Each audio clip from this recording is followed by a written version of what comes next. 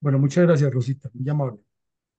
Hoy, miércoles 3 de julio de 2024, continuando con el ejercicio académico de la Fundación Excelencia, Liderazgo y Transformación, en aras de formar estrategas con visión de estadistas y estadistas con visión de estrategas, traemos para esta tarde-noche unas reflexiones acerca del debate la semana pasada que en Estados Unidos tiene a mucha gente con los nervios crispados tiene las alertas puestas en lo que puede suceder, pero queremos ir es al fondo.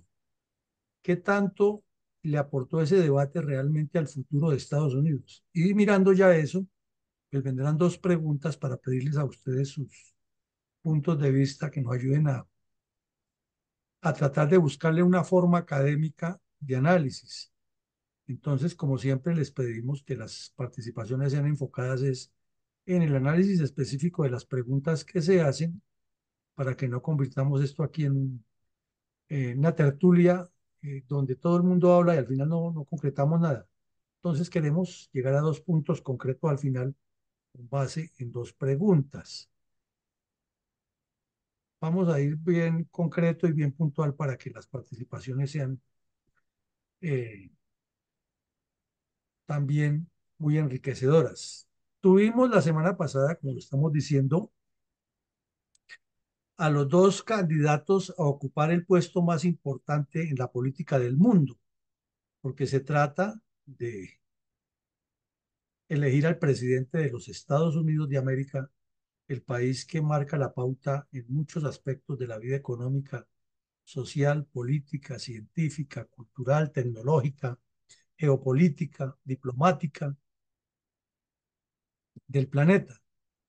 Entonces las expectativas eran muy grandes, no solo dentro de Estados Unidos, sino también fuera del país, tanto para sus adversarios políticos, que son varios, como para sus aliados políticos estratégicos, que también son varios. Y se esperaba que en ese debate salieran luces de cuál va a ser la directriz la hoja de ruta, el faro de luz que Estados Unidos le pone al mundo para el futuro con el fin de mantenerse en su posición. El debate fue organizado por la cadena CNN, que es la más poderosa cadena de información en el planeta, la compañía Warner Bros. Y pretendía ese debate buscar, desde luego, las posiciones de estos dos personajes frente a unos temas sensibles. Desafortunadamente, lo que vimos fue algo desastroso y sigue siendo tan desastroso que el señor Biden ya está peleando es con su, con su terquedad y con algunos eh, cerreros que siguen insistiendo que él debe ser el candidato, cuando francamente demostró que su senilidad, su senectud, ya no le permiten la vitalidad ni la rapidez mental que se debería esperar de un presidente de un país tan poderoso. No es que esté ya derrotado, ni que, sea una persona incapaz, no, es que necesita una vitalidad que ella no la tiene. Especularon mucho que a lo mejor tuvo que salir de ahí derechito para el hotel a que le hicieran masajes y a tomar baños de agua caliente y y a que le dieran reconstituyentes para poderse levantar al día siguiente porque parece que salió muy desgastado del ejercicio. Pero del otro lado es que el otro personaje tampoco da la talla. Por, también ya está entrando en esa misma edad, tiene 78 años. Su terquedad es increíble. Su narcisismo y egocentrismo son superiores al resto del planeta. Y su falta de foco en lo que dice y hace es tenaz. Además, sus antecedentes penales, que tiene con una cantidad de procesos penales abiertos, que por medio de abogados tramposos y trapaceros ha buscado la fórmula de eludirlos, pero en realidad ese señor tampoco es lo que necesita Estados Unidos. Entonces es grave porque es el destino del país que nos marca la pauta aquí en Latinoamérica y que le marca la pauta a la paz, la estabilidad y el desarrollo del mundo. Así de grave es la cosa. Entonces, vamos por, por partes. Primero, miremos qué esperaba el mundo. Aquí hay una lista que seguramente ustedes van a encontrar más puntos o han leído más puntos, pero tratamos como de sintetizar algunos de los aspectos eh, puntuales que esperaba el mundo de ese debate. Entonces, señalemos el primero. El mundo no esperaba eh, escuchar a un par de octogenarios agrediéndose mutuamente y, y autoelogiándose que yo soy mejor que usted y hasta le dijo Prom al otro es que yo le gano a usted jugando eh, golf, como si eso le importara al planeta o como si eso fuera definitivo en el planeta. Yo tengo mejor handicap que usted, le dijo. Y el otro le dijo, pues yo le he ganado en no sé dónde y entonces igual, por el mismo lado. Imagínense ustedes dos presidentes de Estados Unidos aspirando a la presidencia, uno ex y el otro en al cargo, eh, eh, debatiendo los grandes problemas del mundo y echando de sátiras porque yo le gano a usted en el, en el handicap con menos golpes para llegar a los 18 hoyos. ¿Qué tal eso, por Dios? Entonces el mundo lo que quería saber es cuál es la posición de Estados Unidos ante esta situación tan compleja que hay que le hemos venido analizando aquí, que haya una guerra mundial. Eso es lo que quería saber el mundo y de eso no dijeron nada. Lo mismo, el, el mundo entero quería saber cuáles son las posiciones que van a asumir el uno o el otro frente a la guerra comercial que hay con China. Porque es que la guerra comercial que hay con China se está materializando en múltiples aspectos y uno de los efectos de esa materialización sería uno de los aspectos que generaría la Tercera Guerra Mundial, que es la búsqueda que está haciendo China de tomarse por la fuerza Taiwán, ya que sabe que tomándose a Taiwán por la fuerza quedaría controlando el Pacífico o por lo menos de tú a tú con Estados Unidos y aquí las cosas ya se complicarían muchísimo, porque hay una ambigüedad estratégica de Estados Unidos que ha advertido que si Taiwán es agredida por China, inmediatamente actúa militarmente. Y la respuesta obviamente sería que Corea del Norte atacara a Corea del Sur, a Japón y a Australia, y entonces ya intervendría la Unión Europea, eh, el Reino Unido o la OTAN, y ya estaríamos hablando de una guerra mundial. Lo mismo, el mundo esperaría que en ese discurso los dos fueran claros y directos es cuál es el compromiso de Estados Unidos con la OTAN. Y si ustedes revisan el discurso, ninguno de los dos dijo cuál es el compromiso. Ni siquiera se refirieron al artículo 5 de la Carta Constitucional de la OTAN, es el que obliga a los Estados miembros a participar en una defensa activa en caso de que alguno de los integrantes sea agredido por parte de, los eh, enemigos de la OTAN. Bueno. Igual manera pedían que estableciera cuál es el compromiso de Estados Unidos con los aportes para la guerra de Ucrania, porque el señor Biden una semana antes estuvo en una reunión internacional y le prometió 50 mil millones de dólares, a 50 billones de dólares a Ucrania como un préstamo para ayudarla a reconstruir el país y garantizarle que va a tener las municiones todo el tiempo y las armas y el entrenamiento. Pero de eso no se dijo nada. Se terminaron ofendiendo que es que yo hice, yo he hecho, usted no hizo, y todo el tiempo fue, usted ha hecho, yo no he hecho, usted ha hecho. Y pues al mundo, ¿qué le importa eso? Lo que ha hecho el uno o el otro, lo que quiere saber es lo que viene. Que es igual lo que le decimos a la gente nuestra aquí cuando nos habla de que van a participar en política. No eche cuentos de que usted tiene 53 medallas y que ocupó tales cargos, porque es que eso no le importa a nadie. Lo que le importa a la gente es qué es lo que va a hacer usted en el cargo. Eso esperaría el mundo también de este par de personajes.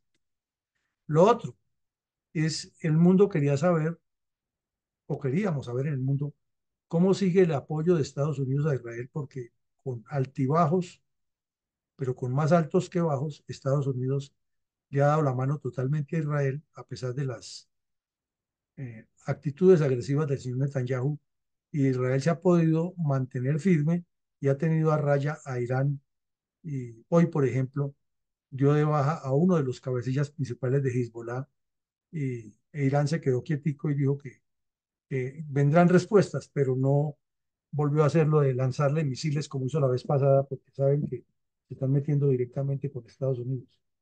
El problema es que el señor Trump, es un hablador grandilocuente, pero además es un sujeto ensoberbecido que cree que él es el centro del planeta. Trump está convencido que los estadounidenses lo siguen y lo idolatran. Y como encuentra gente que le, le ayuda al cuento, pues está convencido de eso. Lo que le pasa a todo egocentrista con, con ínfulas dictatoriales. Pero no ha sido tampoco claro qué es lo que quiere con Israel. Que sí, que, que lo que hace es recordar que en su gobierno él trasladó la embajada de Israel a Jerusalén, lo cual fue interpretado como los palestinos como una bofetada. Pero de ahí para allá no dice nada es si le va a seguir dando ese apoyo, porque al mismo tiempo su discurso es que primero América y la famosa sigla del MAGA, ¿no? Make America Again, eh, Great Again, hagamos América otra vez grande. Esa es la famosa frase del MAGA. Y todos esos eh, estultos que lo siguen repiten como loros sin saber qué es eso.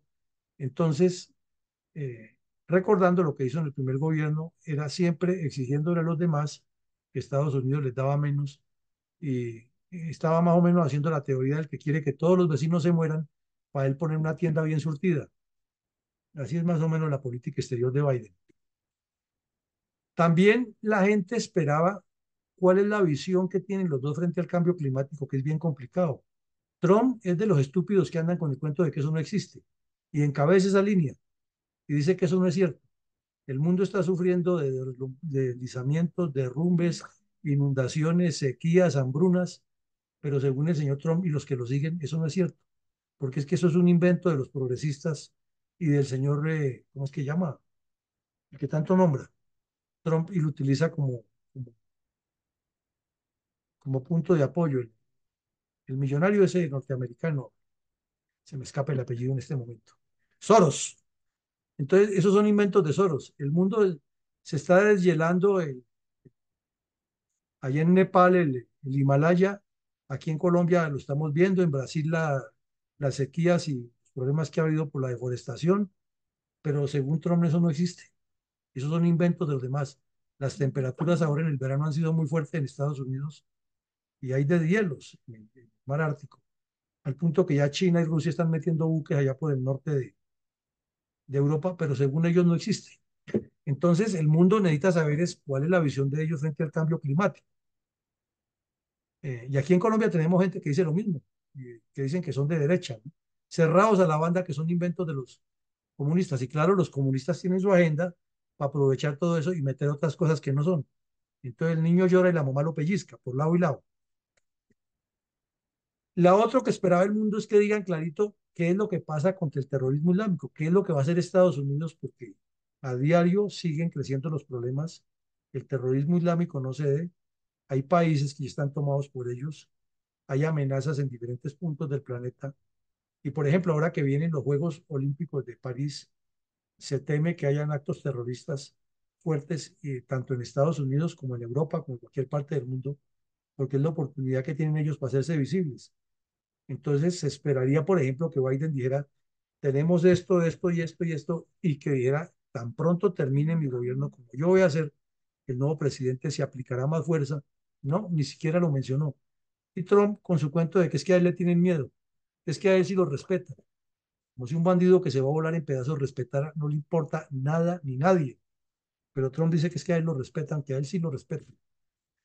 Bueno, el otro problema que esperaba el mundo es que la migración en Estados Unidos es aterradora, porque por Latinoamérica, aquí por Colombia, por Panamá, por Centroamérica, está entrando mucho migrante vía México de todas partes del mundo, porque la situación como la vemos está bien compleja. Entonces, si usted ata toda la agenda, ¿qué esperaría el mundo que Estados Unidos plantee frente a ese problema de 20 millones de personas o más que hay en Estados Unidos indocumentadas y qué hacer con los, para que no lleguen los otros, cuál es el programa que hay.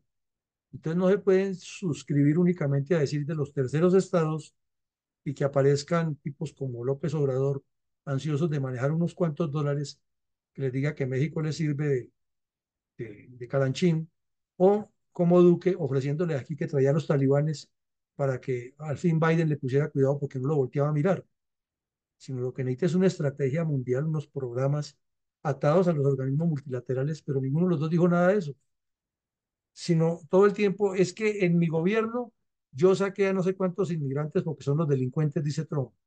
Y Biden dice, y aquí hemos expulsado a no sé quién, pero le dimos a los del DACA, jóvenes, esos que tenían el problema, y estamos ahora con los que son casados con ciudadanos americanos que no se han legitimado, los vamos a legalizar, pero es que ahí están hablando de porciones muy pequeñas, realmente.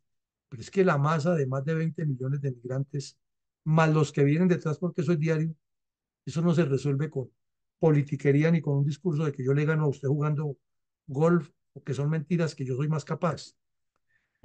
Lo otro que el mundo esperaba escuchar en ese debate es que van a hacer los dos con los organismos multilaterales.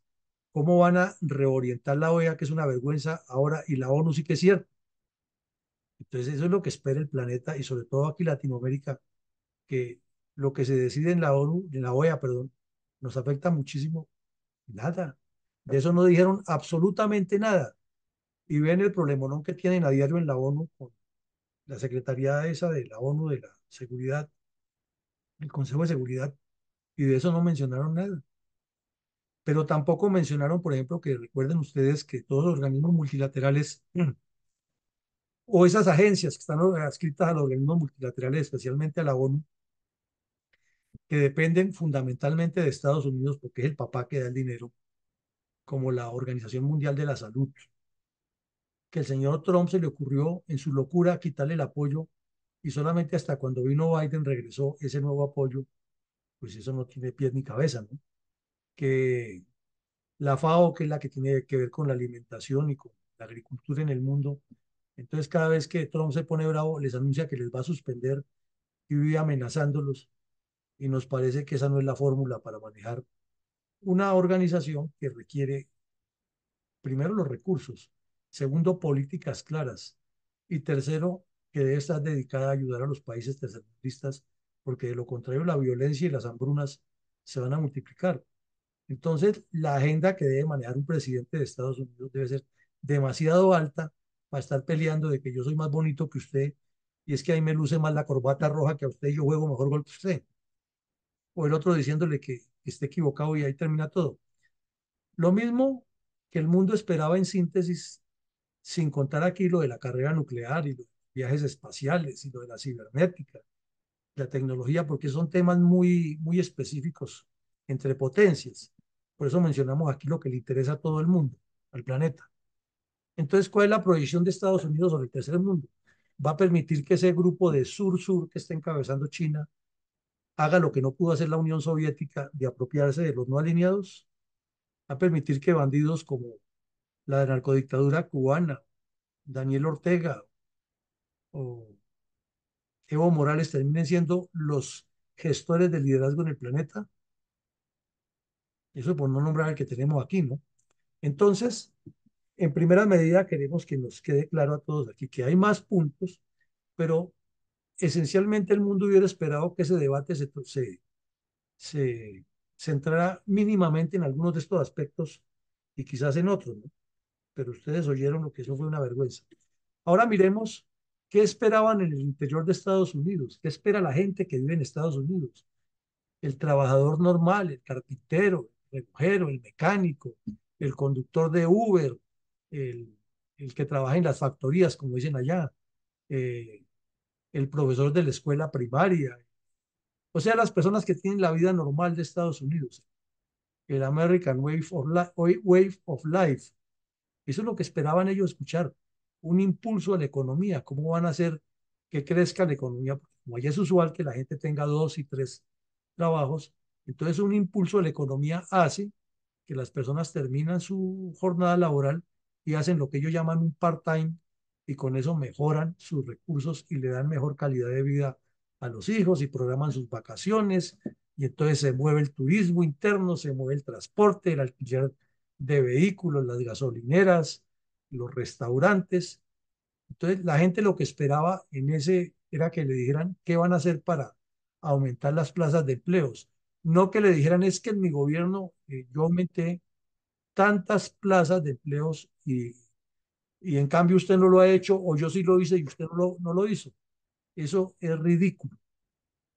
Porque la gente, ¿qué le importa eso? No es que él puso tantos puestos de empleo, no, la gente lo que necesita saber es cuántos puestos de empleo van a generar y qué sectores de la economía van a impulsar ellos para asimismo ubicarse, porque allá es muy común que las personas en Estados Unidos, eh, como son los que pagan su seguridad social, no tienen problema de dejar un empleo hoy y coger otro mañana porque les ofrecen unos dólares más por hora o porque les ofrecen algunas garantías de salud, etcétera.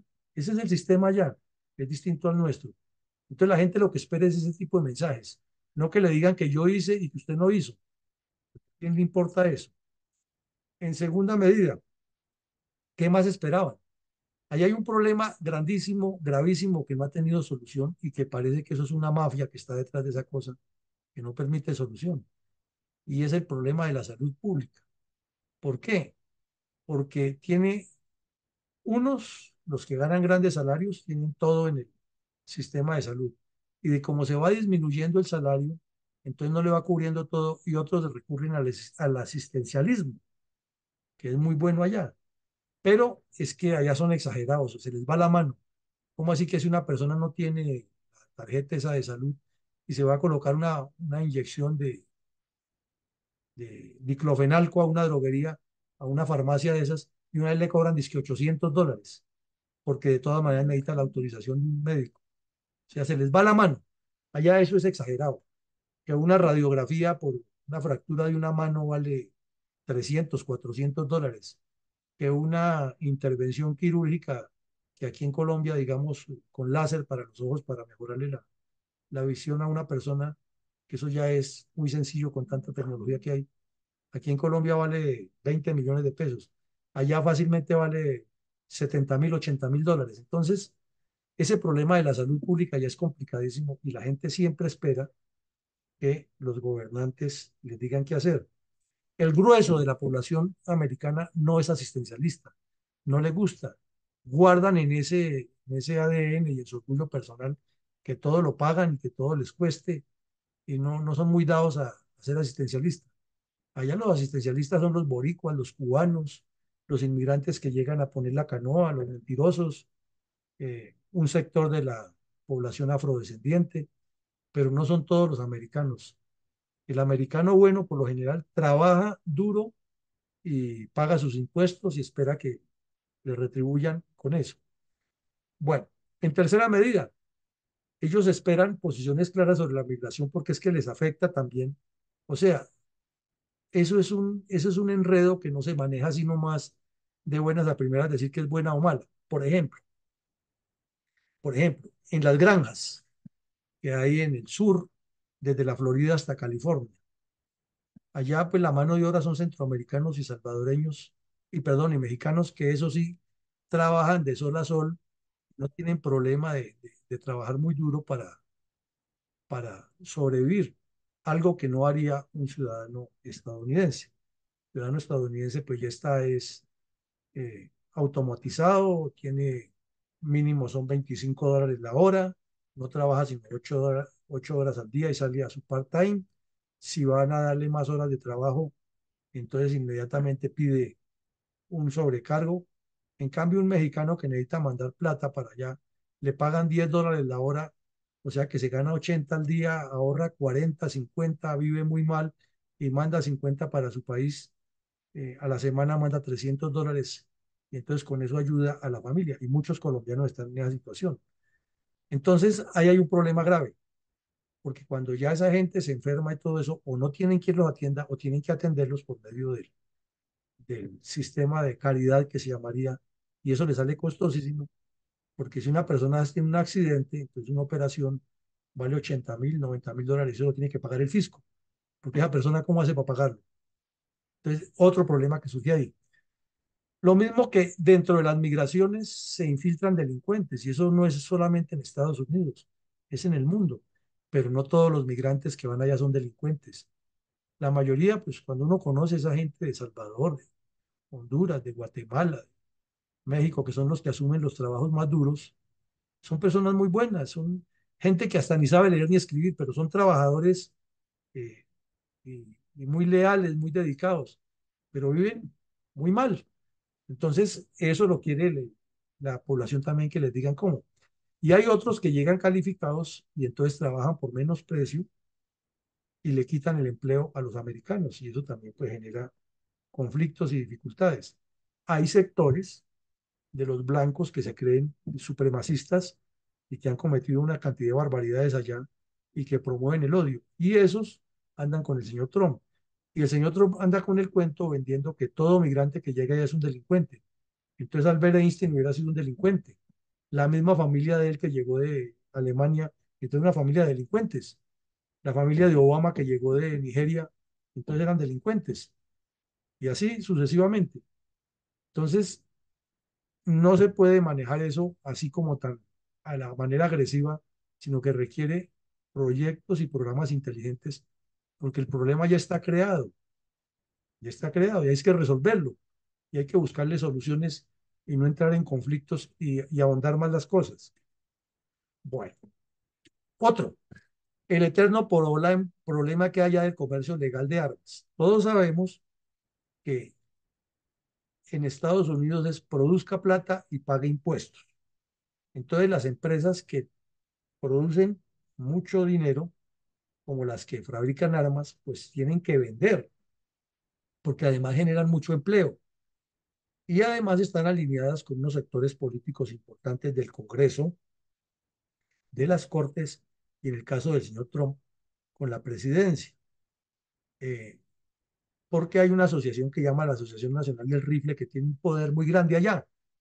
Y esa asociación, eh, como participa fuertemente en la financiación de campañas políticas, entonces los senadores casi que están amarrados y no pueden prohibir eso.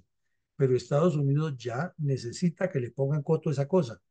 Porque es que ya cualquier persona que tenga ciudadanía, simplemente con la licencia de conducción, que ellos asumen que el que tenga licencia de conducción legal es una persona que tiene todo en regla y en cualquier tienda puede ir y comprar un fusil de asalto, puede comprar cuatro pistolas, dos revólveres, mucho, con la plata que tenga puede comprar lo que sea. Y a cada rato ocurre que aparece un loco desquiciado de esos, muchacho que es drogadicto, que tuvo problemas o que tiene odios, y va y comete una masacre. Eso ya no se sabe ni cuántas masacres van por año. Es que ya la gente ni le pone cuidado por aquí cada vez que dice. Pero eso es a diario que en Wisconsin, que en Nebraska, que en Arizona, que en Miami, que en Nueva York, que en New Jersey. En todas partes, a cada rato hay una masacre. Y es porque las armas todas son legales. Es mucho, allá no se requiere mucho el comercio ilegal de armas, solamente para los delincuentes. Pero el que sea una persona legal puede tener en, la casa un montón de armas y no hay como unos controles que los pongan en sintonía y les digan, oiga, es que las armas las deben tener en tales condiciones, no. Y tampoco hay examen, como aquí en Colombia sí lo hay, de aptitudes psicofísicas para la venta de las armas. Entonces, ese es un problema que la gente está esperando que los presidentes le digan qué van a hacer, pero de eso no hablaron tampoco nada. Lo mismo, en Estados Unidos y en el mundo, los ciudadanos normales queremos es que haya una actitud proactiva y constructiva de quienes estén dirigiendo los destinos públicos, no de confrontación, pero se volvió común en todos los escenarios esa confrontación permanente y esa agresividad que vimos por parte de los dos personajes se refleja en que los mismos seguidores van generando esos choques.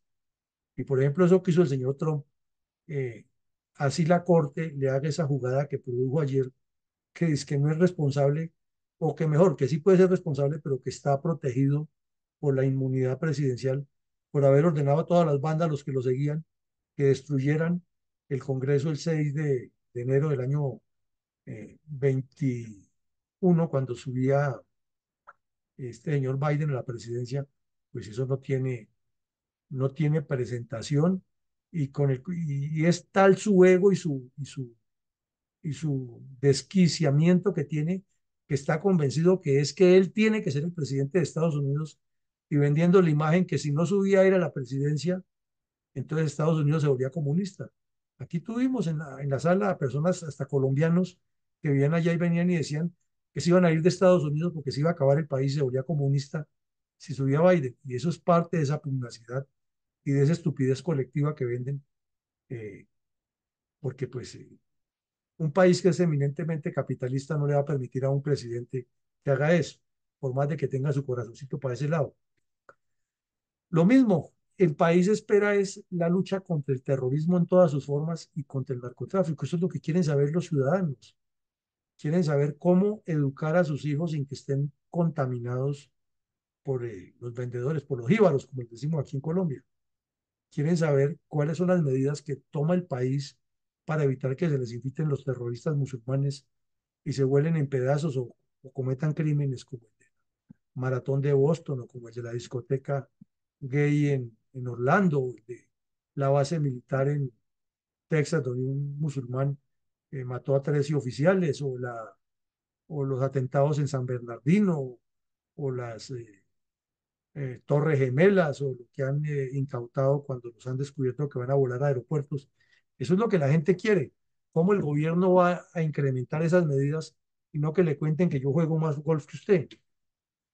Lo otro es que el Obviamente el ciudadano americano tiene un orgullo muy grande, pero no con el cuento del MAGA, ¿no? que hagamos América más grande, sino ellos tienen es identificarse como el país que es el modelo en el mundo en economía, en cultura, en derechos humanos, en democracia, y cómo hace para superar que China y Rusia no ocupen esos espacios, ni que Estados Unidos se vaya saliendo de diferentes zonas, sino que al contrario, el ciudadano americano, además de generoso, en Estados Unidos se hacen recolectas y la gente da.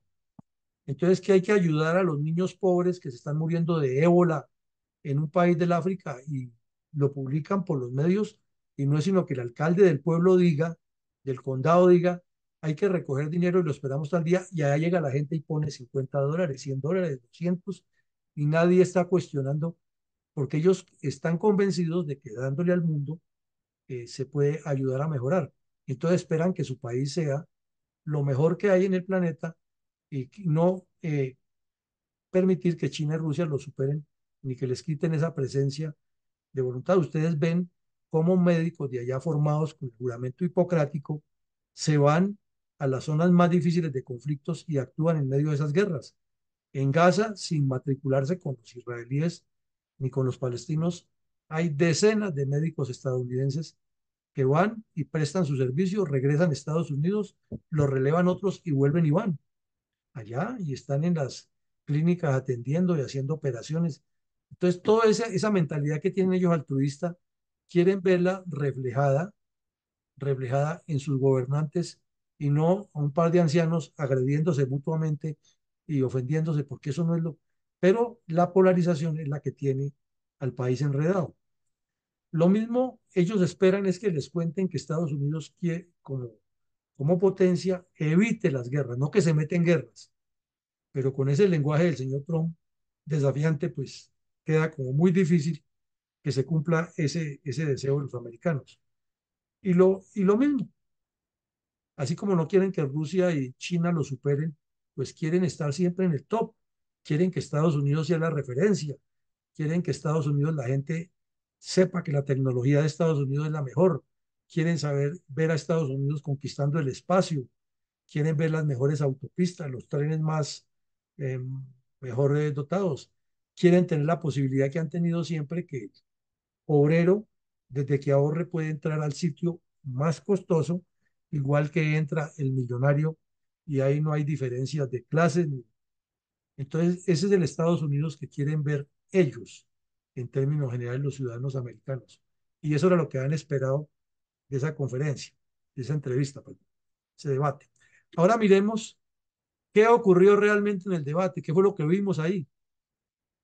Entonces vimos a dos octogenarios agrediéndose sin ningún plan estratégico claro y sin ningún mensaje claro ni para Estados Unidos ni para el mundo. En segunda medida, vimos fue dos tipos egocentristas autoelogiándose que yo he hecho y yo he hecho, y en cambio usted no hizo, y si nos comparamos, y es que en mi gobierno, cuando repetimos eso, no le importa a nadie. Lo que el país necesita es qué se va a hacer, no lo que han hecho. Cero posiciones claras sobre migración. Ninguno de los dos dijo cómo va a manejar el tema y el problema va a seguir. El problema está ahí va a seguir. No es que porque sube el uno o el otro y el problema se para o que porque uno ha deportado tantos, eso va a parar. No, porque la frontera está llena de migrantes y hay unas mafias internacionales que se enriquecen con eso, que además, como vemos a cada rato por ahí en las propagandas en televisión, cometen todo tipo de delitos contra esas personas y que no son uno ni dos, sino son millones.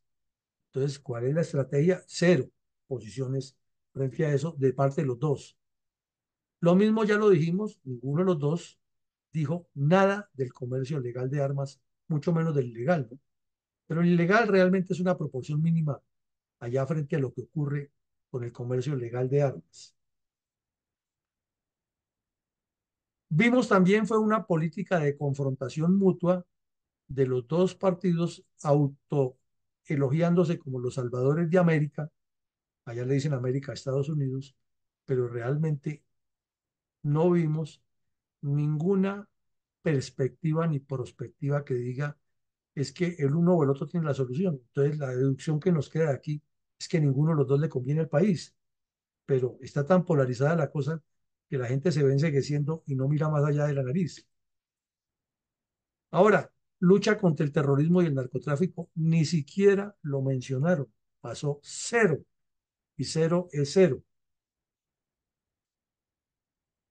Poca claridad de los dos para evitar que China lo supere.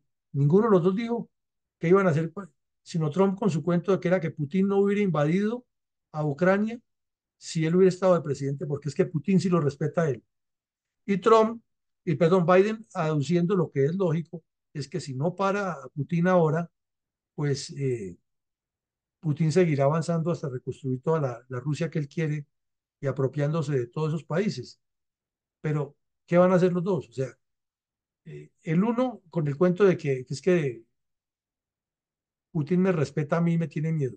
Y el otro con el cuento de que es que no hay que dejarlo, pero sí, pero pero ¿qué, qué más sigue? ¿Cuál es el proyecto de Estados Unidos? ¿Hasta dónde se hace presente? ¿Hasta dónde se compromete? ¿Cuál es el plan estratégico a largo plazo con eso? No, ninguno de los dos lo dijo. Algunos dirían, no, es que no los pueden contar porque eso es contarle al enemigo.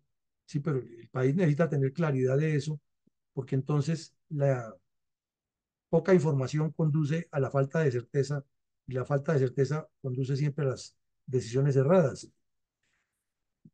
Ninguno los dio de, una explicación para cómo evitaría una guerra mundial, ¿no? Todo el tiempo era, yo hice, yo he hecho, usted no hizo, yo he hecho y usted no hizo, es que lo mío fue mejor. Sí, pero el mundo está al borde de una guerra mundial. ¿Y cuál sería el rol de Estados Unidos ahí? ¿Y cuál sería el trabajo que ellos harían? Y lo peor que vimos ahí es que ambos trataron de decir que mantienen a Estados Unidos en el top del mundo y eso sí lo elogiaron, que yo lo he hecho y que no sé qué, y que aquí estamos y que se ha aumentado la economía, pero puro populismo, porque los puntos esenciales no los tocaron. Entonces pasemos ahora a las conclusiones antes de entrar en las preguntas. Nuestra conclusión puntual es que ninguno de los dos personajes merece el cargo por edad, dignidad y gobierno. Así de sencillo por edad, porque ya están muy, muy, muy avanzados y tienen que estar es, en otra actividad y un cargo como el de presidente de Estados Unidos demanda mucha vitalidad, muchísima. Por dignidad, porque ambos tienen sus problemas, sobre todo Trump. Y por gobierno es porque no están demostrando que tienen un plan de gobierno coherente, sino de autoelogios. Segundo, la agenda que los dos presentan es populista y no realista porque los problemas que acabamos de ver no se resuelven con populismo, sino con acciones, y no es eh, trayendo a colación lo que cada uno ha hecho, sino lo que va a hacer. Y ahí sí está como grave la cosa. Tercero, el problema de la migración está en ascenso y por más de que digan que yo sí hago y que un muro, eso no lo para nadie, ni con esas medidas. Entonces tienen que inventarse otras cosas, generar recursos en los países que inician la migración, promover alianzas, eh, hacer programas contra la corrupción, o sea, trabajar en el tercer mundo lejos de las fronteras para evitar que la gente se vaya para allá. De otra forma, simplemente seguirá siendo un imán Estados Unidos que atrae mucha gente para el problema. Igual seguirá el comercio legal de armas porque los fabricantes de armas tienen los contactos en el Congreso y tienen los contactos en las cortes y el poder y para las elecciones y no van a, primero no van a sacar un montón de gente que depende de ese trabajo, porque eso es una industria que genera muchos recursos para Estados Unidos. Y segundo, no se van a echar encima a los que financian eso. pues tendrán que buscarle otras fórmulas de legalizarlo, de no legalizarlo, sino de establecer protocolos mucho más serios para el porte de armas, más responsabilidades, más controles, porque los controles son casi que inexistentes. O sea, una persona puede comprar 50 fusiles si quiere para tenerlo en la casa y nadie le pregunta para qué. ¿Qué hace una persona con tantos fusiles en la casa? Estoy exagerando la cifra, pero puede hacer. O que una persona, ¿para qué compra dos fusiles, tres carabinas, cuatro pistolas, dos revólveres, dos subametralladoras? Eh, ¿Es que está en una guerra o qué? No, no se entiende. Pero como es comercio legal, hágale.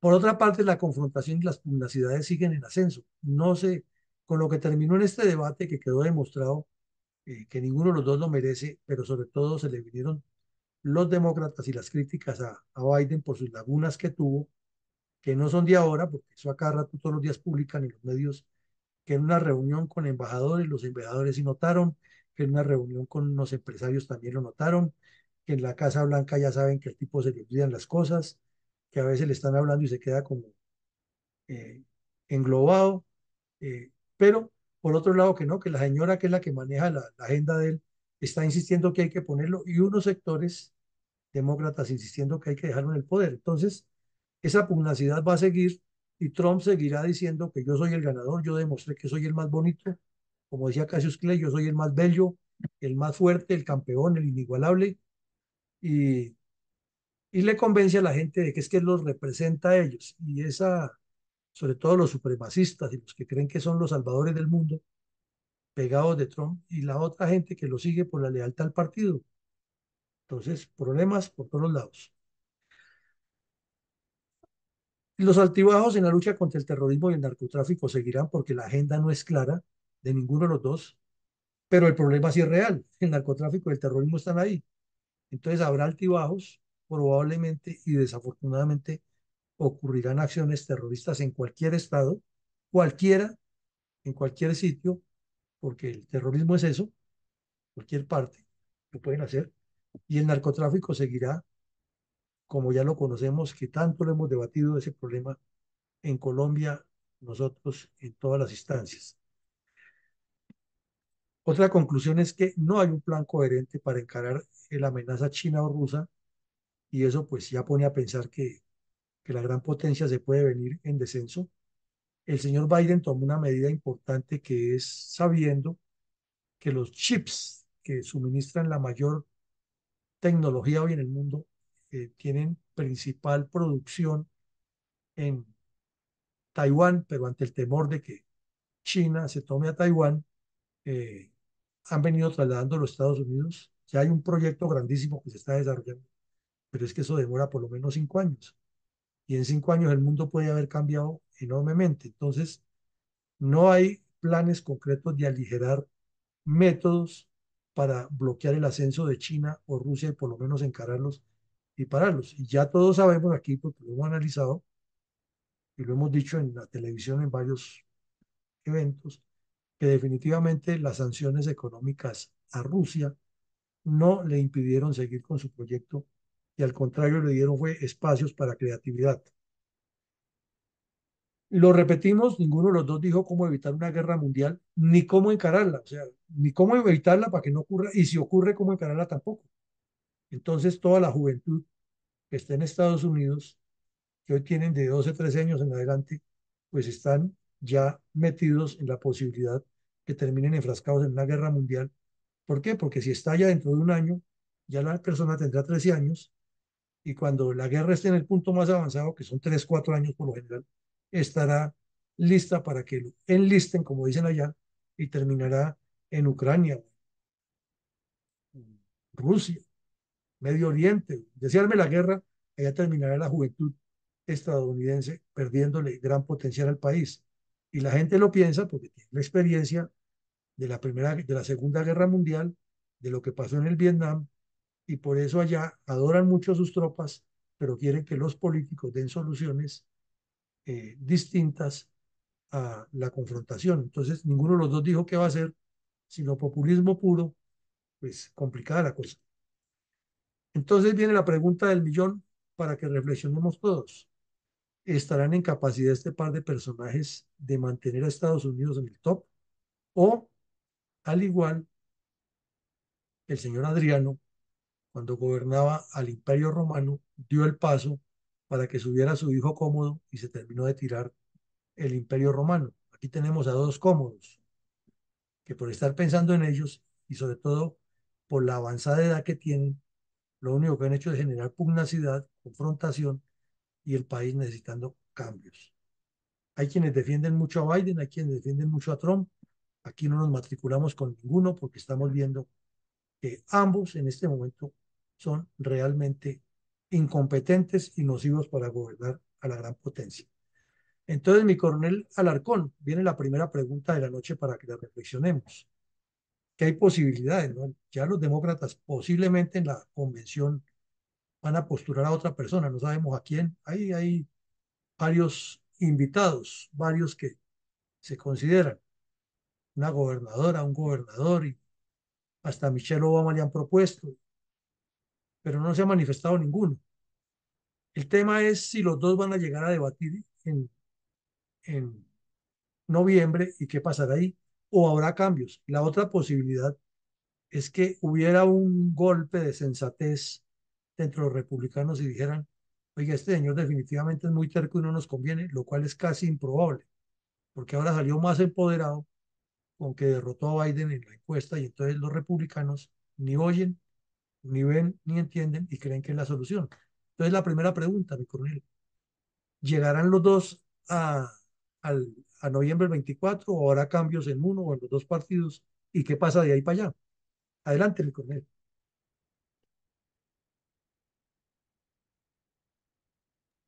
Bueno, mi coronel, muchas gracias. Un saludo especial para todos los que no he tenido la oportunidad de saludar en esta tarde-noche. Como siempre, eh, la Fundación Respetuosa del Género eh, le da la primera palabra a nuestra ingeniero Rosita y por favor sea lista la doctora Ethel. Muchísimas gracias. Realmente es una auténtica vergüenza pública lo que está sucediendo en el mundo entero, porque no solamente estos dos señores de el debate que se está analizando, sino es que prácticamente todos los líderes importantes están en la misma posición a pesar del avance de la ciencia, de la tecnología, en todas las áreas del conocimiento. Y sin embargo, los señores hablando las estupideces que estos dos hicieron en ese debate. Yo espero que los equipos de trabajo de ellos reaccionen y los llamen al orden.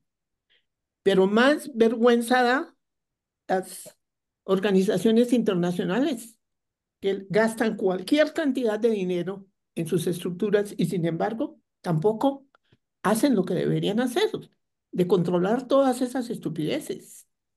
Así es de que yo espero que tiene que reaccionar alguien y que este par de señores no van a llegar, porque ya he hablado con muchas personas que conozco y familia que está allá, y, y la gente está tan sorprendida de que están promoviendo a los independientes, que es la otra forma que hay de cambiarlos, porque ellos tienen que participar por lo que fueron elegidos en primarias, pero están surgiendo una serie de independientes y ojalá que eso se resuelva de esa manera. Y empezando porque el, ojalá que el Congreso de los Estados Unidos no permita más candidatos de, de más de 60 años para tener como presidentes porque demanda demasiada energía eh, el manejo de ese país y del mundo entero. Muchísimas gracias. Gracias, Rosita. Tu opinión, entonces, llegarán los dos octogenarios. Sí, tienen que... La doctora Ethel. Adelante, por favor, doctora Ethel. Buenas noches a la sala, mis coroneles. ¿qué puedo decir? Eh, falta de ética total, es vergonzoso, pero eh, ya han hecho redes de prensa diciendo que no, no, no puede ser que Biden pueda ser este, postulado. Y respecto a Trump, eh, no sé cómo, cómo, cómo llegó ahí, creo que son los mismos, los mismos los que lo están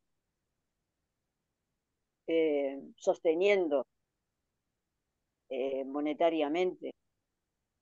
Pero él tiene un, tiene, tiene cosas que solucionar y, tampoco es verdad, sí, no tiene la edad. Pero peor que eso es echa trizas la, la espalda de él. Eh, trae consigo cosas que no, no le van a facilitar nada el hacerse cargo de semejante responsabilidad mundial, porque Norteamérica, dirigirla, no es posible que, esté en esas dos personas, va a venir gente más joven seguramente y, y las campañas van a ser otras. Eso es lo que yo creo que va a ocurrir por las estadísticas que hay. Muchas gracias. Gracias, mi doctora Ethel. Entonces vamos con dos aseveraciones sobre los- la llegada de los dos octogenarios. Tiene la palabra quien ha levantado la mano, Eduardo Patiño, por favor.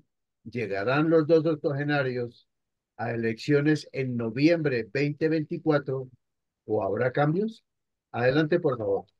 Buenas noches a Buenas todos los noches. que se encuentran en la sala. Bueno, yo pienso que sí llegarán los dos octogenarios a elecciones en noviembre, por varias razones. La primera, porque el electorado estadounidense los eligió en las elecciones primarias. Ellos no votan por el candidato, sino por los delegados. Los delegados pueden cambiar a la hora de la convención, que todavía no ha llegado la convención republicana y la convención demócrata. Pero aquí hay un punto que no se ha hablado. En la encuesta no llamaron a Robert Kennedy Jr., candidato independiente que se salió del Partido Demócrata. Y eso fue grave para la CNN. Fue un error craso que no, no haberlo llamado a las elecciones. Si en las convenciones los delegados de Biden y Trump cambian su voto por otro candidato, eso sería una afrenta para con el electorado, porque el electorado vota por esos delegados teniendo fe en que van a votar por aquellos candidatos, en este caso Biden y Trump, para sus respectivos partidos. Entonces el electorado podría darle una cachetada, una bofetada fuerte a esos delegados y podrían votar y darle el voto a Robert Kennedy Jr., candidato independiente. Entonces no creo que los delegados vayan a cambiar sus cartas por otros candidatos a la hora de la convención. Entonces es lo más probable que, que, que, que Biden y Trump lleguen a, la, a, a las elecciones de noviembre, gustenos o no. Ahora, hay otra cuestión que tenemos que ver. Es cierto que son octogenarios, pero acordémonos que históricamente las antiguas civilizaciones y culturas tenían los famosos consejos de ancianos porque representaban la voz de la experiencia. Recordemos que Ronald Reagan llegó a, la, a los 70 años al ser presidente y gracias a la edad de Ronald Reagan, con sus buenos asesores, lo cual Trump y Biden también tienen sus asesores, que no son nada malos, eh, estos, eh, Reagan logró derrotar a la Unión Soviética, que nunca creyó en la destrucción mutua asegurada, pero nunca disparó un botón de misil nuclear, sino con inteligencia, con estrategia, por el proyecto Guerra de Galaxias, por poner misiles nucleares de mediano y corto alcance en Europa Occidental, por apoyar guerrillas anticomunistas. Entonces, eso llevó a poner a los soviéticos tras las cuerdas que estaban en crisis económica, ya lo sabía la CIA. Entonces, hay que tener en cuenta la edad porque es que ahora tenemos un cliché de que es que no, que es que hay que elegir a, los, a las juventudes, que esos los viejos dejémoslos a un lado y arrinconados. No, señor. Yo creo que Occidente se le ha olvidado que hay que tener en cuenta a la gente octogenaria porque ellos son la voz de la experiencia. Y esto es porque estamos en una mecánica de diacronismo y no de y no de no sincrónica desde el punto de vista filosófico, que es lo que ha llevado a que Occidente cometa también errores porque no se fijan en la voz de los ancianos que representan la experiencia. Yo creo que sí van a llegar a, alguno de los dos a la Casa Blanca, pero si cometen errores como cometieron en el pasado debate, que el cual CNN cometió muchos errores, también por el estilo de preguntas que realizaron, lo más es probable que el electorado pueda darle el voto a Kennedy. Entonces, vamos a ver qué pasa. Esperemos la hora en la convención y los siguientes debates que van a ser organizados por otras empresas mediáticas. Muchas gracias. Muchas gracias, Eduardo. Tiene la palabra mi general Hipólito Herrera. Por favor, adelante. Muy buenas noches, encantado de saludarlos. Un abrazo para todos.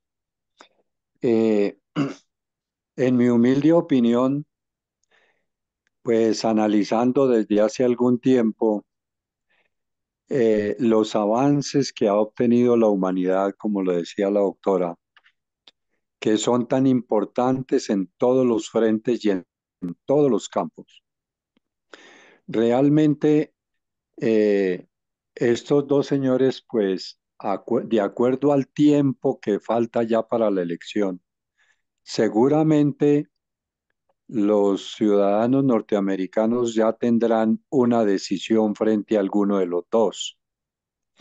Realmente debajo de ello, por debajo de ello se me ocurre, están los intereses del poder que son los que mueven la política en todo el universo y son los que van detrás de los recursos y del universo y de gran parte de la humanidad. Entonces, en este caso, pues con uno de los dos que coloquen allí, pues se cumple el objetivo de ir detrás de los intereses del poder. La tecnología, el poder militar, el poder armamentístico, como lo decía mi coronel Villamarín. De ahí que realmente la sociedad nos hemos quedado un poco apáticas e indiferentes en pensar verdaderamente qué es lo que nos interesa. Y para los políticos a nivel universal, la sociedad, el ser humano que es el verdadero objetivo de la política y de la democracia, pues no le interesamos a tal punto que realmente hoy estamos como estamos. Entonces, pues se me ocurre que realmente aquí, para los intereses del poder, pues a uno de los dos es lo que los interesa para poderlo manipular. De modo que a mí sí me interesaría, ojalá, para el futuro de los Estados Unidos que de alguna manera nos interesa a América. Eh, sí convendría, dependiendo del tiempo, que haya una persona no tan avanzada en edad, porque ya vemos los daños y los estruendos que causa, no obstante reconociendo la voz de la experiencia del conocimiento, pero se requiere una persona que tenga menos edad, que tenga mejor salud, que tenga mejor discernimiento, más conocimiento y seguramente experiencia en la administración pública, que también es lo que nos está afectando a nosotros.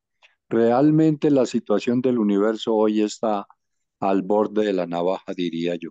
Pero seguramente llegará a no ser que los ciudadanos norteamericanos tomen una decisión en favor de ellos mismos y elijan una persona más coherente, más centrada, más equitativa y lógicamente con mejor visión del mundo, de la seguridad y de la solución a las necesidades básicas de la misma humanidad norteamericana y del mundo. Muchas gracias, escúcheme el tiempo.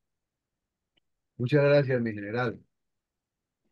En el Facebook hemos eh, o tenemos la participación de mi sargento mayor Campolías Ortiz, que dice lo siguiente, llegarán los dos al evento electoral y el más fortalecido parece ser el señor Trump.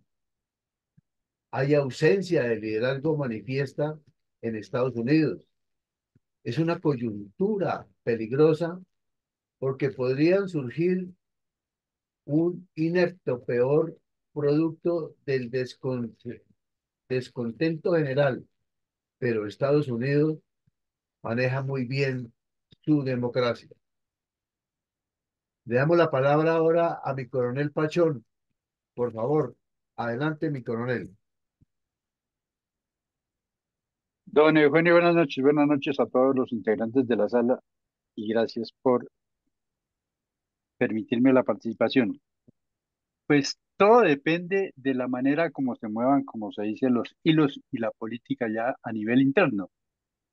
Por el momento, pues están en las primeras de cambio y es posible que ante eh, la anterior eh, discusión que se presentaron en ese evento periodístico, pues la gente cambie de parecer y tome la decisión de cambiar a uno o a ambos, porque imposible que los americanos que han estado siendo o que han sido modelo de la democracia en el mundo, pudiéramos decir así, vayan a ser tan torpes a dejar en manos de personas que no tengan la capacidad mental para dirigir el país o esa ambición de creerse superpoderoso frente a los diversos hechos a pesar de la confrontación que han llevado a la misma comunidad. Ese es mi, mi aporte. Gracias. Muchas gracias, mi coronel. Tiene la palabra mi coronel Ramiro Saldaña. Gracias, mi coronel Alarcón. Perdón. Bueno, eh, un saludo para los, los compañeros alumnos de esta cátedra virtual de Fundel. Miren, eh, a mí me parece, por lo que he escuchado, y también por un concepto, yo pienso que no per se, por la edad, se debe de calificar uno u otro candidato pero en particular, escúsenme, pero en particular por las lagunas que ha presentado el candidato, el presidente Biden, eh, algunas lagunas mentales que no las ha presentado Trump, eh, pienso, y que además Trump, con su política, igual creo yo que fue la de Truman, de América para los americanos, puede gustar más Tron. Eh, o sea, para responder la pregunta, pienso que Tron podría seguir y podría ser votado por los americanos para llegar a la presidencia. Y considero que quizás el presidente Biden, por lo que ya se ha dicho, por sus lagunas mentales, puede que sea cambiado y además hay, además hay rumores de que se va a cambiar por en el Partido Demócrata. Gracias. Muchas gracias, mi coronel. Tiene la palabra, no sé si Jorge, por favor, adelante. Puedes abrir tu micrófono, Jorge. Inicialista. Y que se identifique, por favor. Adelante, por favor. Entonces, eh, Mauricio Cadavid no tiene micrófono en el momento. Eh, superamos la cantidad de las personas que están presentes en sala, mi coronel. En Facebook eh, no tenemos más, sino un saludo de, mi coronel de Guajiritillo y algunas apreciaciones que acaba de manifestar Eduardo, Eduardo Patiño, las cuales quedarán incluidas en el Facebook para quien quiera leerlas y, e interpretarlas. La segunda pregunta dice lo siguiente. ¿Cuál es la explicación lógica a la crisis de liderazgo en Estados Unidos? Vamos a comenzar entonces por darle la palabra a Eduardo Patiño. Por favor, optimicemos el tiempo. Adelante, por favor. Buenas noches. Nuevamente, buenas noches a la sala. Bueno, a ver, yo pienso que Estados Unidos sigue siendo la hegemonía mundial. Mm, bueno, no creo que haya una crisis de liderazgo total. Digamos que puede ser parcial. Bueno, yo no creo que se deba a la, a la presidencia de Biden, como dijo Donald Trump. Bueno, yo pienso que eso viene de un proceso histórico de larga data, eh, donde pues Estados Unidos, desde la guerra de Vietnam, eh, empezó a tener una crisis de liderazgo. Eh, yo creo que, bueno, esto se está debiendo a que ha tenido algunas políticas internacionales de tipo ambiguo. Es decir, hace, ha faltado más agresividad por parte de los Estados Unidos para tratar con otras naciones que le están desafiando su poder mundial. Eso por un lado. Yo veo que, por ejemplo, Estados Unidos se contenta con imponer sanciones económicas a naciones como Rusia o China y de ahí no pasa. No estoy diciendo que establecer una guerra mundial, pero sí debería adoptar otras medidas. Otras medidas. por ejemplo, como con el caso de Corea del Norte. Por ejemplo, el caso de Corea del Norte. Permitir de que Estados Unidos permitir de que Estados Unidos pueda permitirle, por ejemplo, al imperio japonés a que se vuelva a rearmar o permitirle a Corea del Sur tener sus propias armas nucleares apuntando a Corea del Norte. Que Estados Unidos vuelva a colocar misiles nucleares en Corea del Sur. Sí. O que, por ejemplo, Estados Unidos apoye con agresividad las guerrillas del Tíbet en China. O que apoye a los uigures y a los cosojos que son discriminados en China con guerra guerrillas. Así como hizo Reagan en la década de los 80 con guerrillas anticomunistas. Se olvidaron de esa política y ha faltado eso. Ha sido un exceso de prudencia. ¿Sí? Claro que sin llegar a una política de violación de derechos humanos. Entonces yo pienso que eso es lo que se debe la crisis de liderazgo en los Estados Unidos y ahora con América Latina se ha visto que se ha aislado mucho más porque han cambiado su agenda de la lucha contra el comunismo y la lucha contra el narcotráfico por el tema de la inmigración. Vemos que Estados Unidos no ha tenido un papel preponderante eh, lo que ha hecho los regímenes de Cuba, Venezuela y Nicaragua.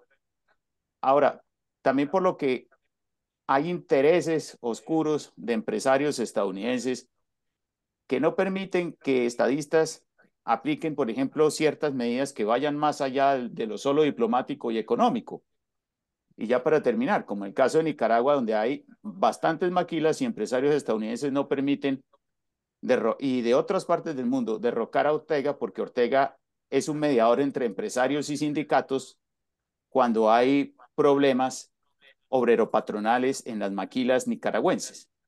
Entonces, esos, esas cuestiones pues generan también una limitante dentro de la política de liderazgo estadounidense en la política exterior estadounidense y esperemos que esto se solucione con nuevos estadistas que realicen nuevos cambios. Muchas gracias. Muchas gracias, Eduardo. Para la respuesta, ¿cuál es la explicación lógica a la crisis de liderazgo en Estados Unidos? Mi general Herrera, por favor, adelante. Muchas gracias, mi coronel. Pues yo diría concretamente debido a tres cosas fundamentales. Eh, a la fractura que ha tenido la política hoy en día a nivel universal, porque perdieron el norte los objetivos. Ya hoy no hay partidos políticos con estructura de doctrina y filosofía, sino que se recurre a acuerdos programáticos para dividirse el poder. En segundo lugar, la sociedad a partir de hace aproximadamente 40 años hacia acá entró en otra dinámica universal. Ya no creemos hoy en día en política ni en los políticos. Estamos orientados hacia otros objetivos y realmente los políticos pues definitivamente también cambiaron los principios y cambiaron eh, el ideario hacia el servicio a la, a la sociedad. Y son esas tres cosas, diría fundamentalmente, razón por la cual hoy a nivel universal y concretamente a nivel de Norteamérica, la, la, la política está tan desacreditada, digámoslo así. Muchas gracias. Gracias, general Herrera. Por favor, Rosita, adelante. Muchísimas gracias. Personalmente creo que todo exceso es vicioso y a mí me parece, por varias cosas que he analizado y que he observado, que ha habido un exceso de democracia en muchos aspectos y muy especialmente en la posibilidad de que países francamente opuestos como la China a los Estados Unidos y como otros hayan tenido las puertas abiertas para llegar a todo el nivel de educación que quisieron y después regresan a utilizarlo en contra eh, de, del país que se lo suministró. E igualmente, políticos absurdos que decidieron entregarles, como lo hicieron realmente a la China, toda la tecnología y toda eh, la oportunidad de realización de trabajos porque les resultaba mano de obra más barata y ahora tienen la tecnología, tienen eh, la posibilidad de, de todo el conocimiento y ahí está el problema de crisis que se puede presentar y que se está presentando entre los dueños de la política en cualquier parte del mundo, realmente. Muchas gracias. Gracias, Rosita. Adelante, por favor, mi doctora Ethel.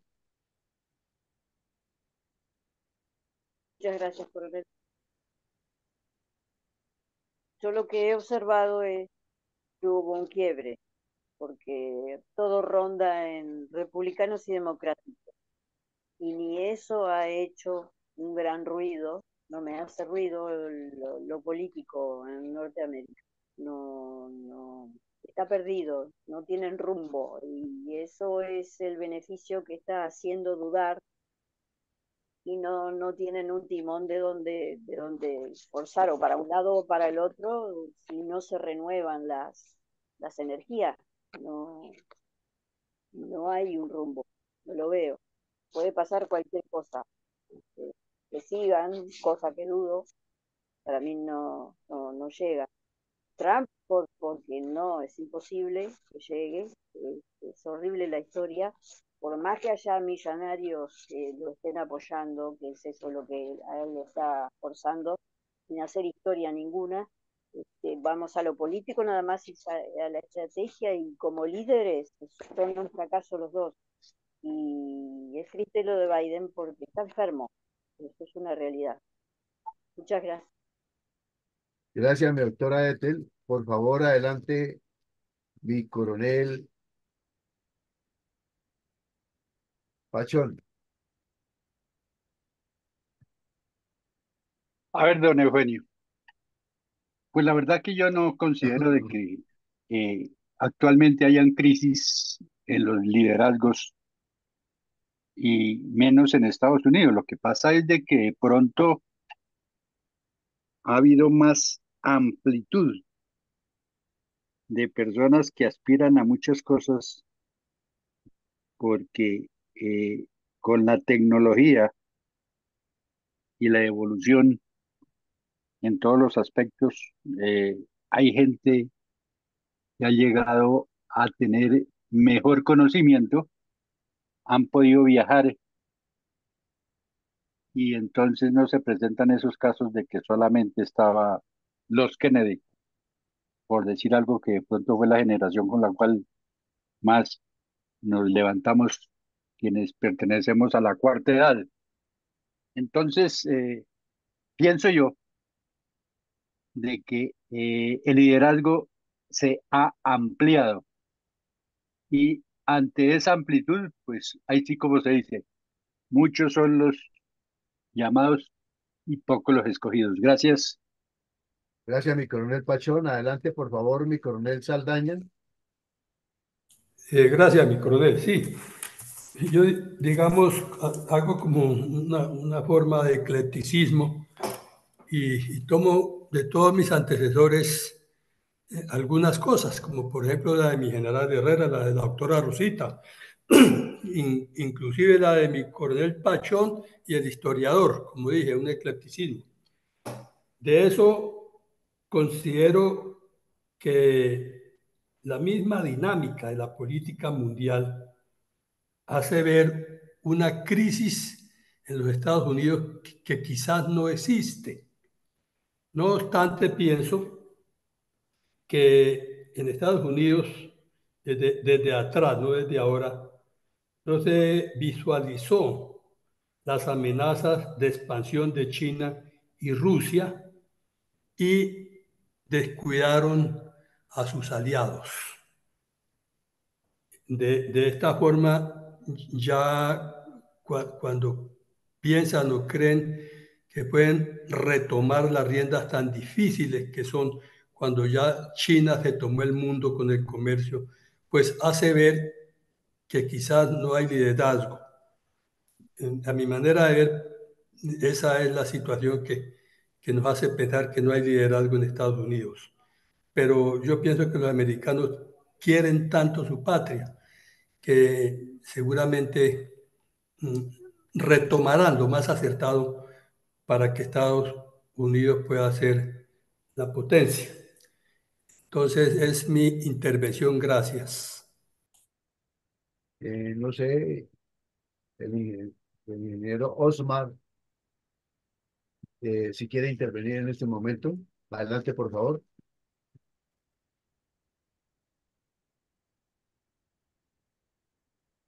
Bueno. Adelante, ya está abierto su micrófono.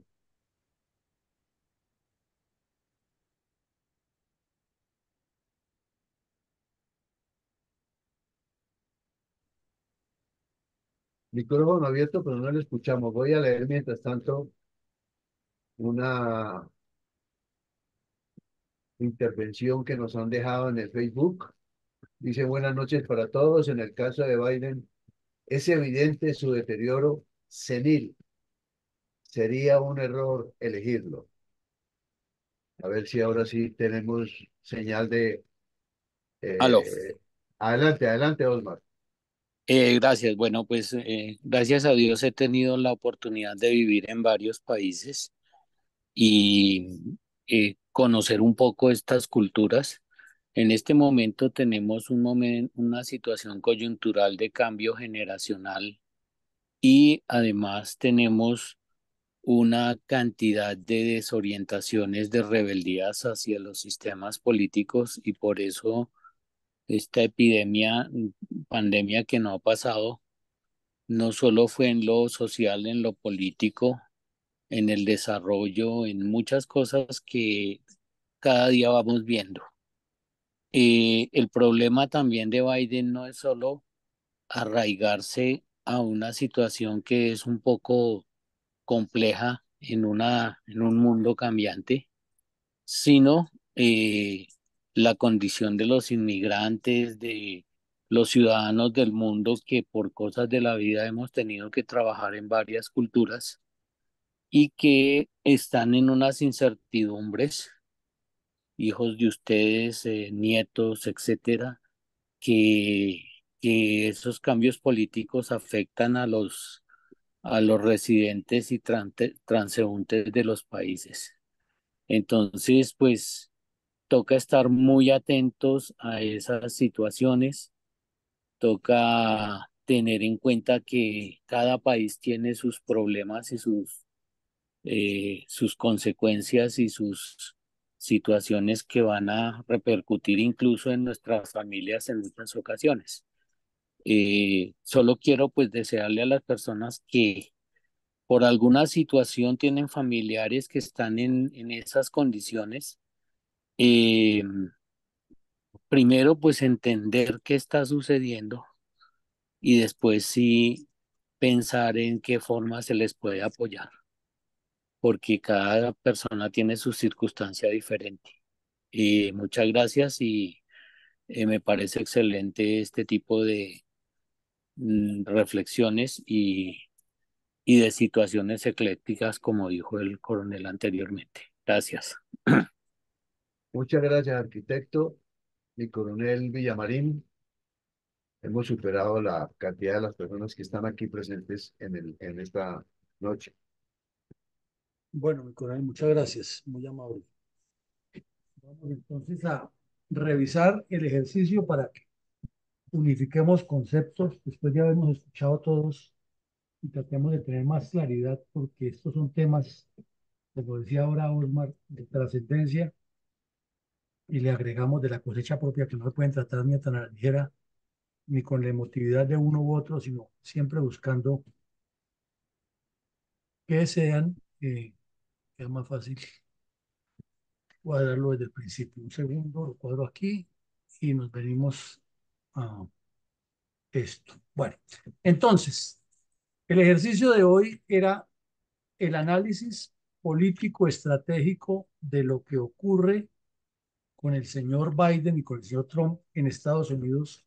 Y para el efecto, tomamos la entrevista que le hicieron los dos en público, o la encuesta, o el debate, o la participación de los dos la semana pasada, que era tan esperada por el mundo. Eh, siempre invitamos a que nos desapasionemos, no asumamos ninguna posición a favor de o en contra, sino que miremos las cosas desde una balanza, desde un fiel de la balanza que nos permita tomar mucha más eh,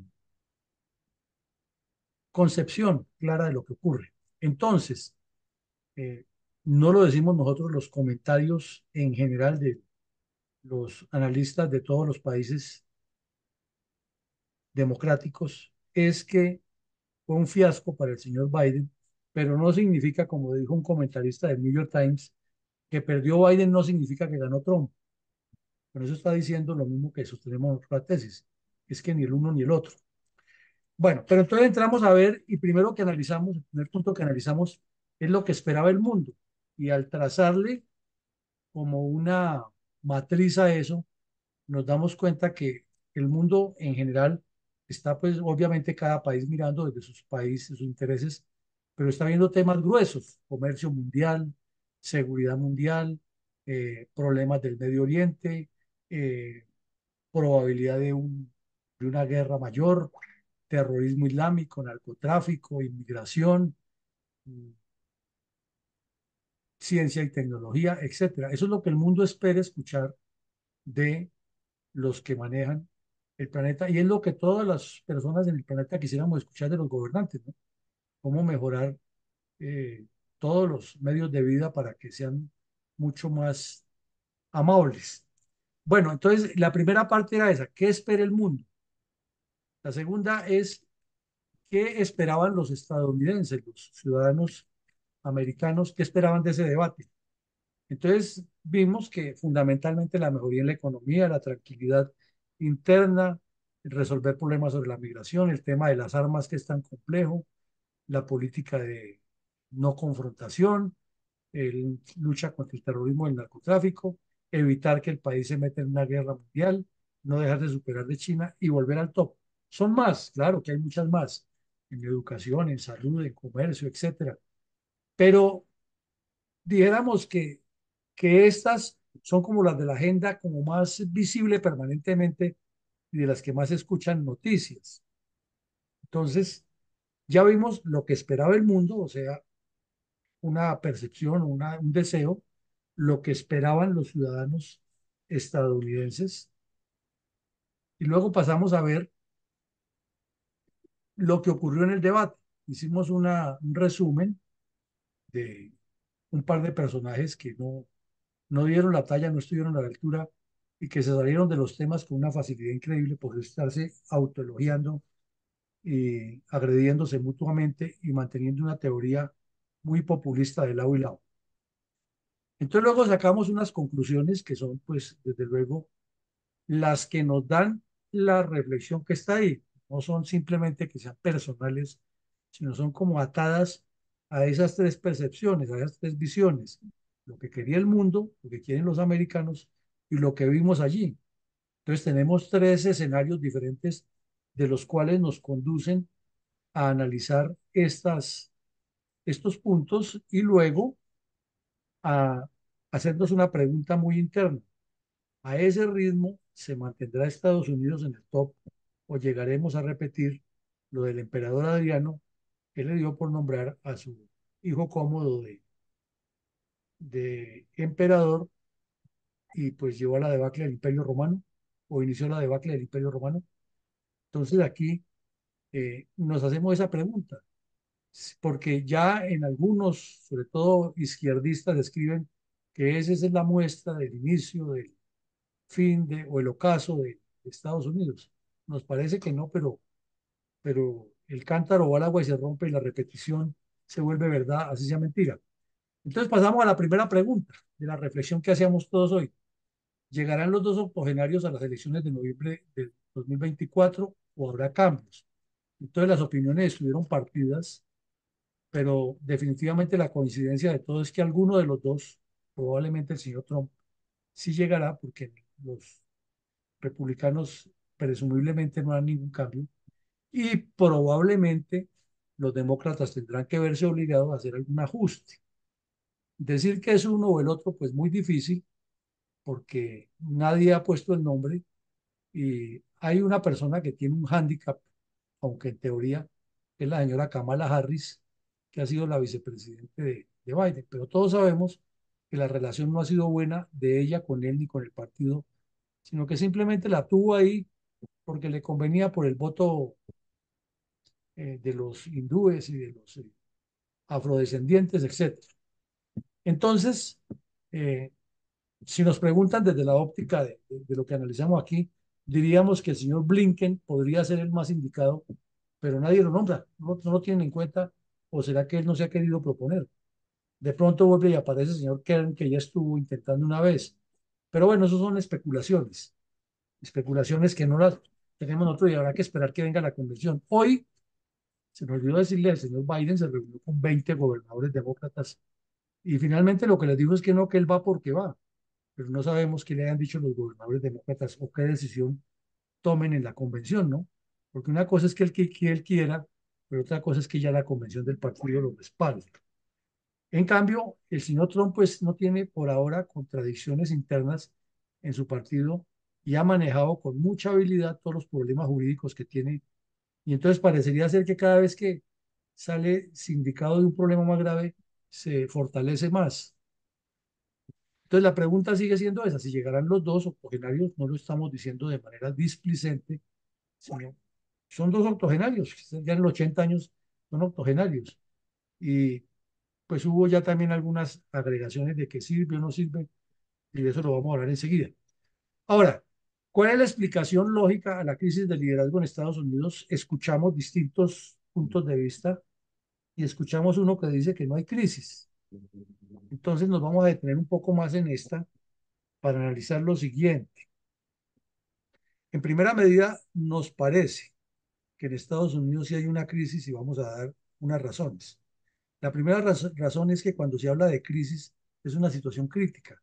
No significa que está destruida la institucionalidad, significa que esa crisis demanda revisión permanente de lo que se está haciendo para que se mejoren los procesos y en algunas empresas lo llaman la reingeniería. En los comunistas lo llamaban el revisionismo. Eh, los eh, grupos guerrilleros lo llaman el replanteamiento. Y, y en política en general se llama revisión. Pero las crisis existen permanentemente porque las situaciones críticas se van dando cuando los factores coinciden en puntos de no retorno en distintos ámbitos y la habilidad de los líderes es detectar cuando hay una crisis para inmediatamente actuar y corregir.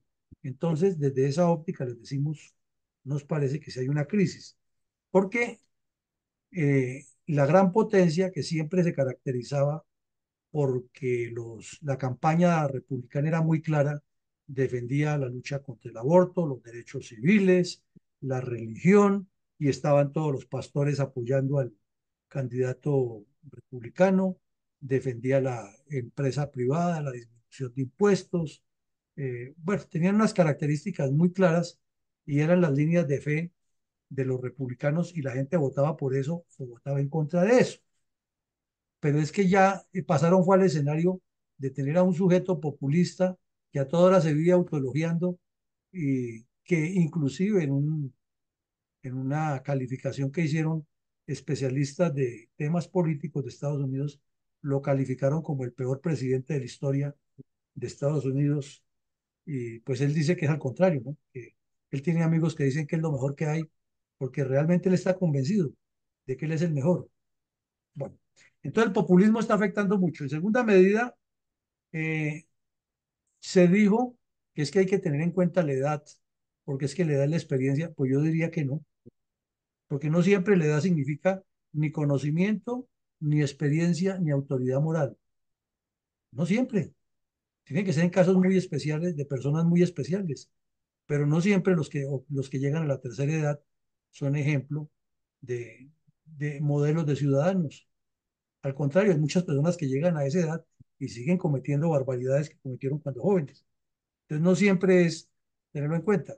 Que los romanos escogían a los mejores de otra cosa, pero no significaba que todos fueran los mejores. Ahora, ¿por qué además decimos que hay una crisis de liderazgo?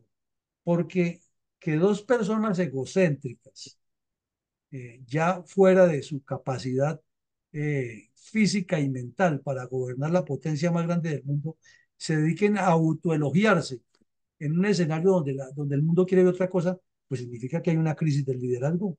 O sea, el liderazgo no está funcionando bien y hay que replantearlo. ¿Y a quién le corresponde? No a ellos los dos, es a los partidos, porque es que ellos no son dos dioses infinitos y supremos, sino que ellos se deben a un partido y a una nación. Y ellos deben representar los intereses de esa nación y de ese partido. O sea que sí hay una crisis de liderazgo ahí. Y la crisis está entre los partidos. Eh, la otra, que si no se visualiza, como lo dijo mi coronel Saldaña, si no se visualiza lo que mi adversario está haciendo, o sea, si no se está haciendo lo que en términos militares llamamos la apreciación de situación para que el oficial de inteligencia determine la capacidad de más probable adopción del adversario y se trabaja con proyectos para contrarrestarle esa capacidad del adversario, pues quiere decir que quien tiene las riendas del poder está fallando al liderazgo y, y, está en crisis. O sea que eso hay que replantearlo, revisarlo o corregirlo. Y eso sí está pasando en Estados Unidos hace rato con que China se les acaballó. Entonces no nos podemos cerrar a la banda y decir que, que, que porque son o han sido la potencia grande, no están en crisis, sí lo están. Y hay un liderazgo que necesita revisión, renovación, y la prueba es que dos personajes que no dan la talla no pueden seguir ahí porque ya lo demostraron en ese debate. La otra es que eh, en Estados Unidos hay otra forma de demostrar la crisis del liderazgo. Los dos partidos no tienen figuras visibles como en otras épocas de la historia de Estados Unidos. Para hablar una cercana, cuando estaba en el Partido Republicano eh, candidato George Bush padre, ahí estaba Ronald Reagan, estaba McCain, eh, y había una serie de personas en el Congreso de la República de Estados Unidos que pesaban dentro de Estados Unidos y el continente. Hoy los senadores de Estados Unidos no son tan, claro, tienen un poder impresionante allá, pero no son tan conocidos en el mundo eh, y mucho menos los representantes de la Cámara. La señora Pelosi, porque era la jefe del Partido Demócrata, pero no era una persona que inspirara en el mundo un liderazgo o una, o una visión de su país. Entonces sí hay una crisis. Y la prueba es que ahora que están diciendo que quién reemplazaría a Biden, no es que en el sonajero haya unas personas muy brillantes, ¿no? Ya se habla del clan de los Kennedy, se habla de, este señor eh, eh, gobernador de Wisconsin que no lo conoce nadie, de la gobernadora de otro estado que tampoco es muy conocida. Y si vemos la contraposición que tuvo eh, Trump internamente, pues realmente era una señora que era gobernadora, que tenía cierta capacidad y que fue, que fue eh, tan osada de desafiarlo y decirle públicamente que era un mentiroso y que era un delincuente eh, y que estaba fallando los principios republicanos, Pero ustedes vieron al gobernador de Florida, que al principio le habló duro y luego terminó completamente subyugado a Trump. Entonces, ¿qué tal ese personaje de presidente rindiéndole cuentas todos los días a Trump? Pues démonos cuenta que sí hay problema y con excepción de Mike Pence, que es el más visible ahí, pero que él dijo que no y, y además que está peleando con Trump por lo del 6 de, de, enero, no hay ninguno en el Partido Republicano que tenga ese carisma de nivel nacional e internacional. Entonces, el problema sí hay crisis de liderazgo en Estados Unidos en los dos partidos. Eh, lo otro es que, ¿cómo no va a haber crisis en el país que es la matriz, que es la fuente de del, la democracia y la libertad en el mundo, si el día o dos semanas antes de entregar el poder, quien ya perdió en las elecciones, se le comprueba que llama a un eh, gobernador y llama a un eh, jefe de la cuestión electoral en un estado del centro sur de Estados Unidos, perdón, del oriente sur de Estados Unidos, y le dice que falseen las, las actas y que lo pongan a él de ganador. Eso es una crisis de liderazgo, porque quiere decir que el liderazgo de los dos partidos no está ni para revisar internamente lo que hace su jefe, ni mucho menos el partido contrario para demostrar lo que está pasando. Si no es porque los medios de comunicación lo destapan, ahí no hubiera pasado nada. Y eso es una de las investigaciones que tiene Trump. Ahora, que el presidente en ejercicio de un país democrático se someta a una reelección y pierda públicamente en una votación que fue transparente y salga a decir, no, a mí me robaron y yo no me voy. Y entonces convoco a todos mis, a todos mis vándalos que vengan y destruyan el Congreso. O sea, otro Petro, otro Petro, que no reconoce. Y entonces, si eso no es crisis de liderazgo, entonces ¿qué es crisis de liderazgo? Entonces, sí hay crisis porque el Partido Republicano jamás le ha debido tolerar eso, porque va contra los principios de la democracia, va contra la organización fundamental de la Unión Americana, va contra la imagen del país y va contra la seguridad de los ciudadanos y va contra la historia, porque va generando entonces que el que quiera, dice, eh, un gobernador pierde las elecciones y no, yo no me voy, que fue que ahí me hicieron trampa y convoco a todos los vándalos que me siguen a destruir la gobernación de Wisconsin, Nebraska, Nevada, Texas. Entonces las cosas no son así. Sí hay una crisis y eso requiere revisión total. Y finalmente, eh, si los debates fundamentales de lo que le corresponde al Estado, a la nación, a la proyección del país, pasan a segundo plano para que haya un debate personal, pues quiere decir que eso ya se descompuso, que se perdió la institucionalidad, que se perdió eh, la transparencia, que los procesos y los protocolos para elegir y ser elegido se están vulnerando en Estados Unidos, o que no importa, como nos pasó aquí con el, con el referendo, con el plebiscito, perdón, del señor Santos, que el pueblo diga no, porque es que al final yo digo que sí, y no hay problema. Entonces, eso es muy grave, eso es serio y, y hay que ponerle mucho cuidado, porque si falla la primera potencia, que es la cabeza del mundo, en eso, pues de ahí para allá el efecto dominó será tenaz. Entonces, en síntesis, ha sido un ejercicio académico de debate muy interesante. Naturalmente tomamos nota de todo lo que ustedes dicen, nos aportan, porque nos dan insumos, pero dejamos ese mensaje. Pensemos que cuando la casa del vecino está ardiendo, es mejor echarle agüita a las barbas porque las llamas pueden llegar y quemarnos. Porque Colombia necesita realmente un cambio estructural, no es de personas, no es de que hagamos una reunión y que nombremos los candidatos de las regiones y vamos para el Congreso, porque es que en el Congreso donde están las decisiones, es la teoría que está circulando ahora en muchos sectores. Pues eso es volver a más de lo mismo, porque un grupo de personas que llegan sin ningún conocimiento, entonces cada quien llega convertido en un Donald Trump en miniatura. Yo soy, yo soy y a mí no me vienen a imponer nada. Y entonces yo soy el que tiene que dar. Y si y si no gano yo, entonces no hay ejercicio. Eso es grave. La democracia hay que construirla es con interacción, con ideas, con proyectos, con compromisos, con cultura organizacional. A todos, muchísimas gracias por su atención. Mañana los invitamos. Tenemos en la noche otro ejercicio eh, muy bueno para participar, no para echar discursos, Eduardo Patiño, sino para participar y analizar cómo hacemos para entender, no, no, no, coronel, no, nada. Eh, para entender el, el problema que hubo en Bolivia con eh, el intento de un cuartelazo que ya los medios de comunicación han publicado tantas y tantas eh, versiones que vamos a colocarlas todas sobre el tapete para que eh, las analicemos mañana con base en hechos concretos.